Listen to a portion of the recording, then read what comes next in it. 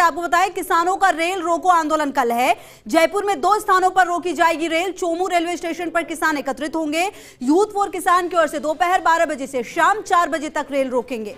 Railway station पर एकत्रित होकर रेल पटरियों पर धरना देंगे किसान। वहीं जगतपुरा में भी रोकी जाएँगी ट्रेनें। किसान नेता नरेश मीणा के नेतृत्व में दिया जाएगा पटरियों पर धरना।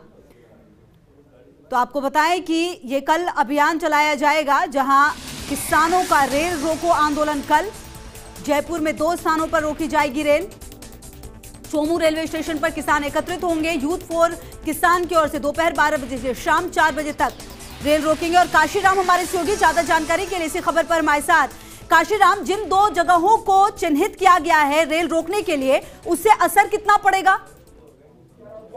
जी देखिए खुशबू बिल्कुल असर पड़ेगा, क्योंकि ट्रेनों का संचालन बाधित होने की संभावना है। और दोपहर 12 बजे से और शाम 4 बजे तक ये चार घंटे का रेल रोको आह्वान किया गया है संयुक्त किसान मोर्चा द्वारा।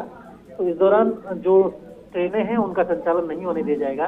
किसान नेता नरेश मीणा जो है, उन्होंने ये कहा है कि उनकी ओर से जगतपुरा में ट्रेनें रोकी जाएँगी।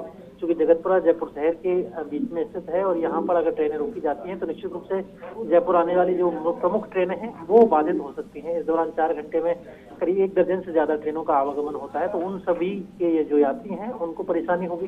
हालाँकि रेलवे प्रशासन को अभी तक कोई लिखित में सूचना नहीं दी गई है ट्रेनों के रोकने के बारे में। हम्म। लेकिन पुलिस को इस बारे में जानकारी है और कोई स्थिति खराब ना हो इसे देखते हुए पुलिस के सुरक्षा। इंतज़ाम भी यहाँ पर रहेंगे। दूसरा जो जाम रहेगा वो चौमू में होगा और वहाँ पर यूथ फॉर किसान जो है उनकी ओर से चार घंटे का जाम का आह्वान किया गया है।